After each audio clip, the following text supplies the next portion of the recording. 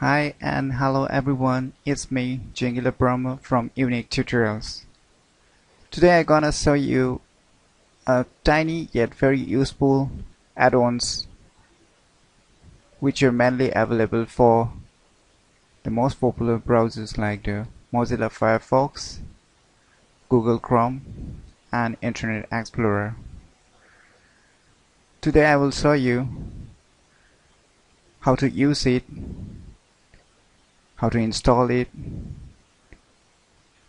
and what are the useful features you can get from it. So let's begin.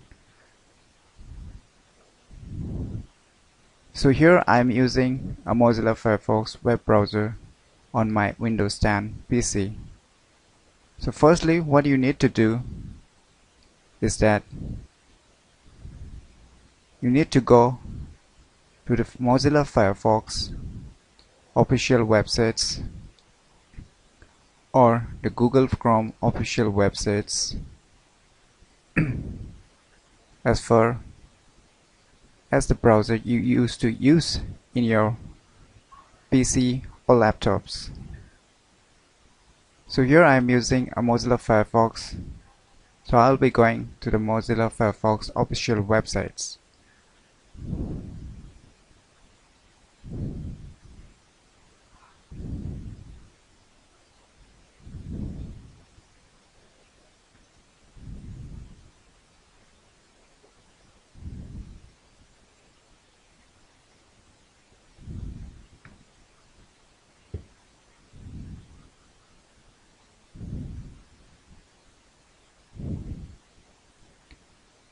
So as soon as you go to the Mozilla Firefox official websites, click on the Mozilla. After clicking on the Mozilla, just move down and click on add-ons.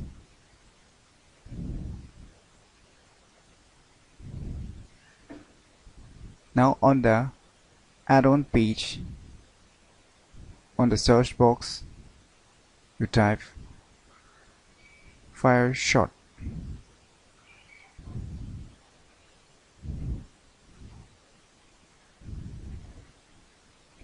Now, as you can see, pull web page screenshot. Now click on add to Firefox. Now it's downloading. Now you can click on install. Now click on restart now.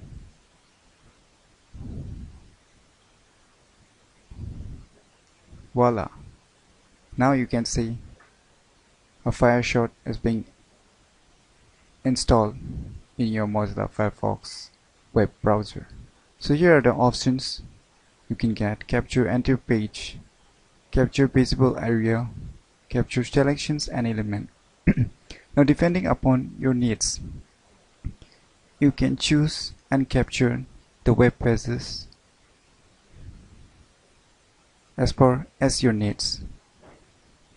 Among these three, I like the most is the captured selections because it helped me to select the only sections which I need from the web pages. So let me show you an example. Suppose I want to select only this page. So what can I do? You can do either in the two way. First by going to the above Fireshot icon on your Mozilla Firefox toolbar and second you can right click your mouse and you get an option Fireshot capture selections. So I'll choose the selections. I'll choose save. As you choose save you get our options in two variants in one in a picture mode and one in a PDF format. But if you choose save as PDF you will get only one format to be saved as PDF only. So I will choose only the save option so that I can save it either in picture format or in video format. So as I want to copy only these sections, so I will do a selections here as per as I need. So I will do a selection and just leave the left mouse now. Now it's being saved. Now let's check whether it's work or not.